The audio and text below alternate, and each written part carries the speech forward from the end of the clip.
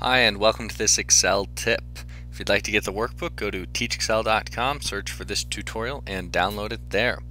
Now I'm going to show you how to very quickly sort um, a data set or a database or an employee list, such as I've got here, alphabetically and numerically.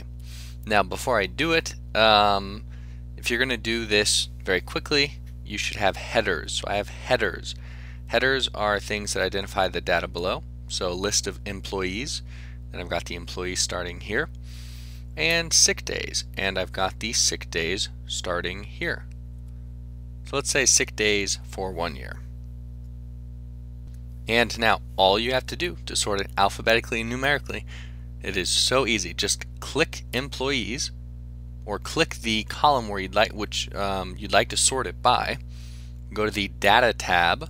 So make sure you select the data tab go to sort and filter and here you'll see an AZ arrow down and AZ or ZA arrow down. So simply let's just click this one right here and it sorts it alphabetically A to Z. Click the bottom one it'll sort it Z to A. So now we have sorted it by name. Now if you'd like to sort it by sick days, who's been sick the most, who has not, click the column titled Sick Days. A to Z is going to be um, 0 to up, and Z to A. So who's been sick the most? Well, Creed Bratton, then Michael Scott.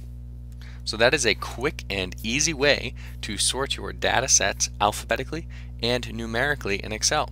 If you'd like to get this workbook, go to teachexcel.com, search for the tutorial, and download it there. And that's it for this tip.